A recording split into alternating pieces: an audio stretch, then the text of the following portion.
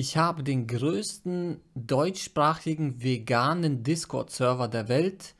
Falls es jemand noch nicht weiß, äh, wir sind da auch äh, absolut außer Konkurrenz. Ja, ich habe mit Abstand den größten Server, den es gibt. Äh, ihr seht hier, wir sind aktuell 1251 Mitglieder. Den nächsten Server, den ich kenne, Vegan-Server, deutschsprachigen, der hat irgendwas so um die 100 Mitglieder.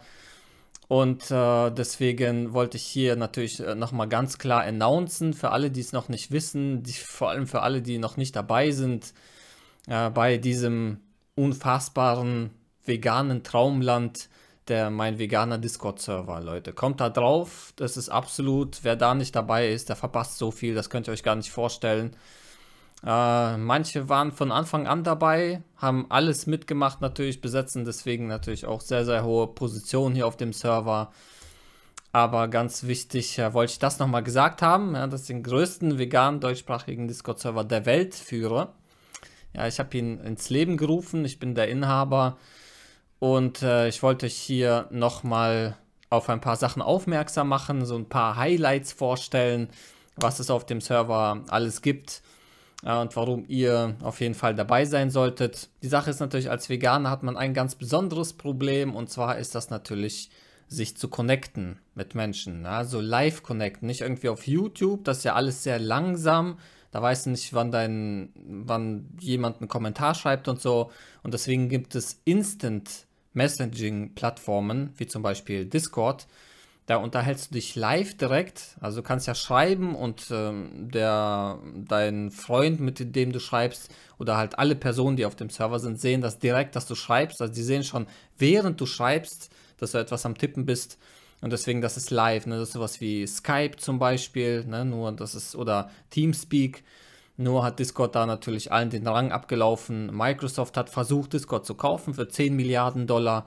Äh, Discord hat abgelehnt. Ja? Und äh, weil die eine glorreiche Zukunft vor sich haben.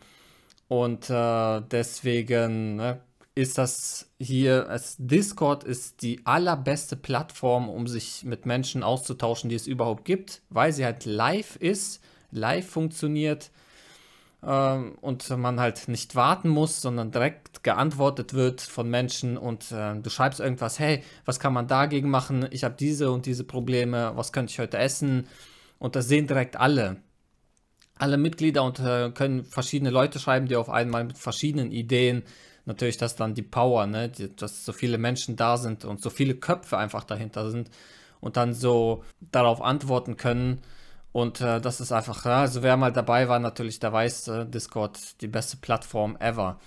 Und hier kann ich euch mal zeigen, zum Beispiel haben wir hier Food Sharing, das ist so natürlich so eine Sache, ich poste hier auch eigentlich täglich, ja täglich poste ich hier Bilder von Essen und das ist auch einfach so eine Inspiration und Ideen einfach, was man essen kann. Ne? Vielleicht hat man einfach keine Ideen, was soll ich heute essen, ich esse irgendwie immer das gleiche, früh morgens immer Haferflocken mit Obst und abends irgendwie Nudeln, ja was könnte man noch essen und da hast du hier immer Ideen einfach, schon dadurch, dass die Menschen ihr Essen posten, kriegst du einfach Ideen.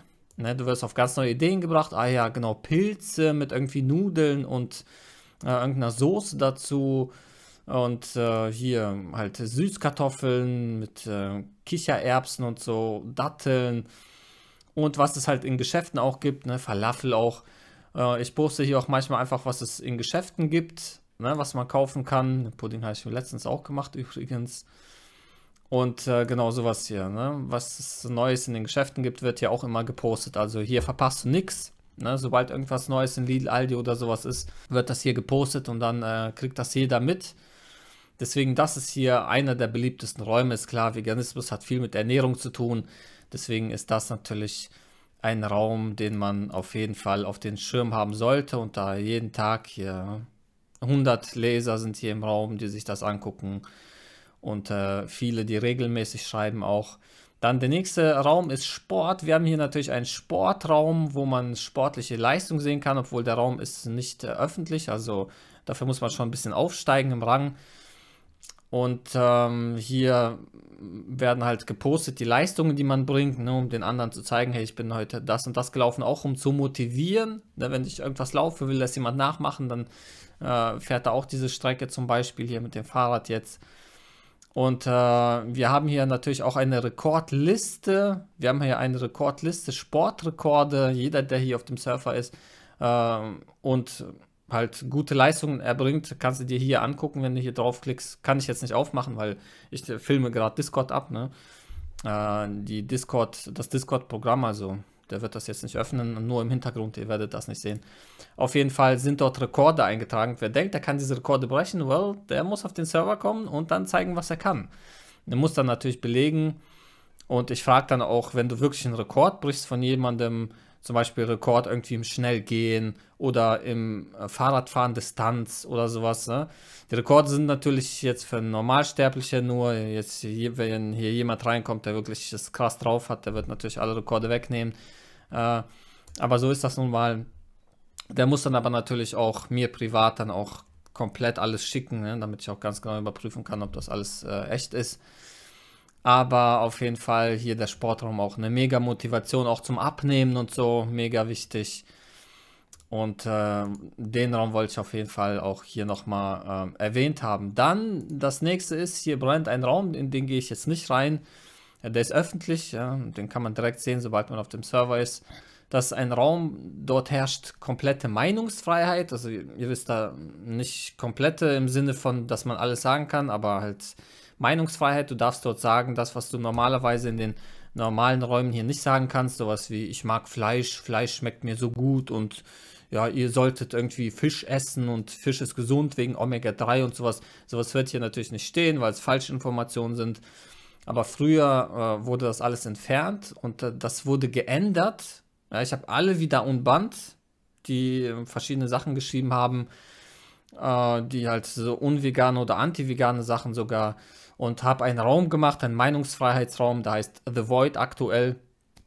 Und äh, da kommen halt alle rein, die irgendwelche Meinungen vertreten, die hier im veganen Server ähm, von den meisten nicht gesehen werden wollen. Aber wir brauchen den Raum trotzdem, weil es Menschen gibt, die mit diesen Menschen sprechen wollen und sagen wollen, wo da die Probleme liegen und so. Ne? Deswegen habe ich diesen Raum gemacht, alle Leute unband. Und äh, ein paar sind schon wieder reingekommen, die gebannt waren und jetzt sind die da in dem Raum und können sich austauschen. Und da ist halt Meinungsfreiheit, aber keine Narrenfreiheit. Das ist ganz wichtig. Ist ganz klar, dass man äh, sich ja auch da an Regeln halten muss. Ne? Nur da sind die Regeln viel, viel lockerer. Äh, dann, was haben wir noch? Wir haben hier natürlich Events. Ganz wichtig, wir haben Server-Events. Ihr seht hier allerlei Sachen. Ne? Hier Karaoke-Leistungstabelle. Wir werden demnächst wieder Karaoke-Abend haben tatsächlich. Uns fehlt noch ungefähr eine Person. Und dann machen wir einen Karaoke-Abend. Das heißt, alle singen gleichzeitig. Ne? Es gibt auch Duelle untereinander, wer sich traut. Ja, aber das ist schon, das ist schon, äh, wir hatten schon krasse Duelle gehabt, ne? ungefähr zehn Duelle haben wir schon gehabt. Ähm, ich weiß nicht, vielleicht 15 Karaoke-Abende oder so.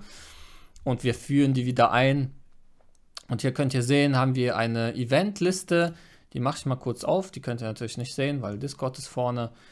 Und wir haben einen Filmeabend zum Beispiel. Und äh, da wird also genau immer ein Film geguckt. Dann haben wir Karaoke-Abend eigentlich. Ne? Der ist jetzt ein paar Mal ausgefallen, aber wird wieder eingeführt. Donnerstag haben wir Leseabend. Da wird halt aus dem Buch vorgelesen. Wenn du aus dem Buch vorlesen kann, willst, kannst du das machen.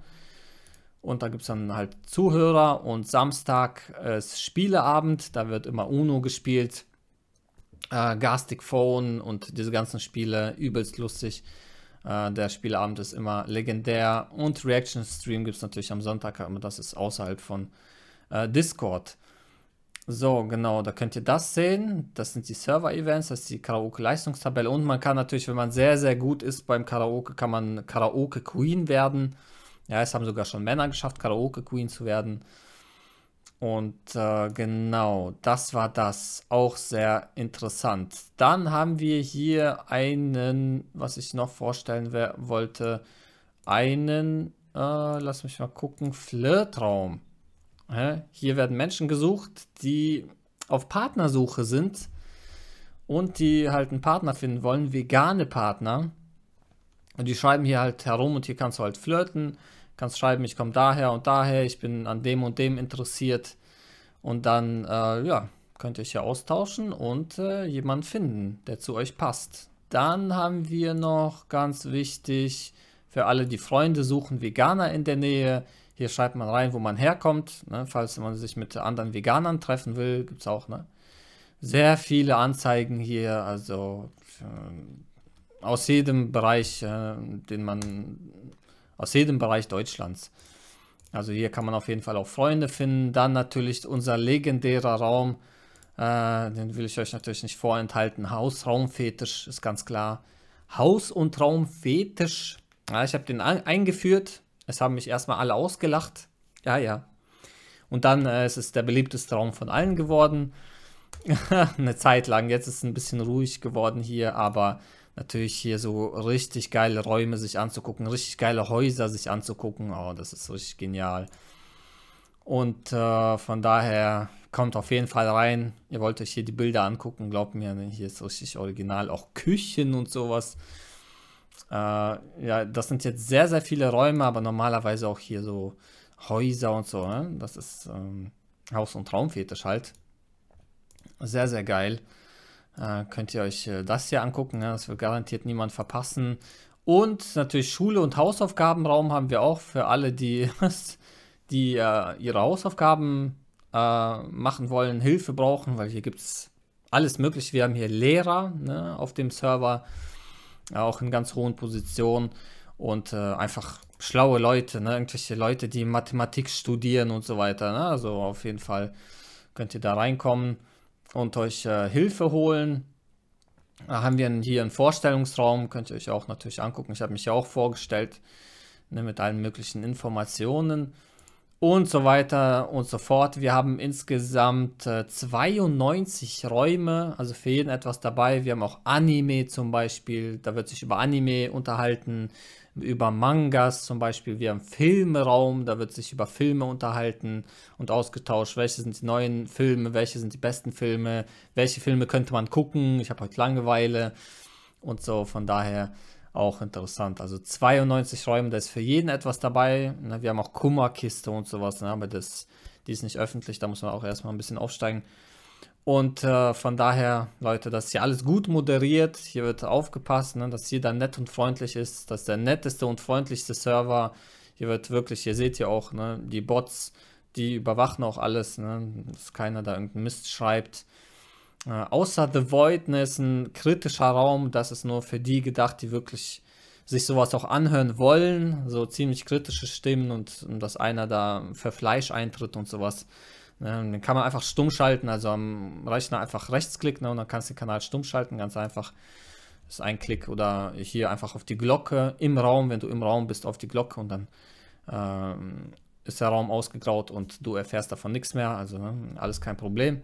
Muss sich niemand mit rumschlagen, du kannst alles stumm schalten, was dir nicht gefällt. Du magst kein Anime, machst den Anime-Raum stumm, falls dort äh, zu viel geschrieben wird und dich das nervt. Also äh, alle, kann man alles machen. Das Allerwichtigste ist, dass ihr immer die Dings, die, die äh, Kategorien einklappt. Ne? Ansonsten kann es mega unübersichtlich werden, wenn alles aufgeklappt ist. Ne? Klappt die zu. Wenn alles zugeklappt ist, sieht das auf einmal ganz, ganz schön aus. Ne? Ist alles, kannst auch das zuklappen. Und dann ist das hier der ganze Server. Von daher ähm, kann man das alles machen. Okay, na, man kann auch Musik hören, natürlich, hier wird jeden Tag Musik gehört, also als DJ auflegen, du kannst als DJ auflegen, wird jeden Tag gemacht von irgendeiner Person, immer unterschiedlich. Mal bin ich das, mal sind das andere. Und dann können andere einfach zuhören. Und hier kann man sich auch refacen lassen, das heißt, dein Gesicht wird eingearbeitet in äh, irgendwelche anderen, in, zum Beispiel in irgendeinen Film, in irgendeinen Avengers oder sowas. Ne? Dann, das sieht übelst realistisch aus. Müsst ihr euch mal geben, viel zu krass. Da wurde ich gerade erwähnt, weil ich wahrscheinlich da gerade gerefaced wurde. Also Leute, kommt rein. Na, der beste Server, der größte Server, absolut konkurrenzlos. Kommt rein. Äh, wir haben hier zum Eintritt keine Anforderungen außer verifizierte E-Mail-Adresse. Ist ganz klar, dass man nicht hier von Bots zugespammt wird. Deswegen guckt es euch an, Leute. Ne? absolut der absolut beste Ort für Veganer. Ne? Man kann sich nicht besser connecten. Von daher, Leute, überall der Link, überall unten verteilt in der Videobeschreibung, in den Kommentaren.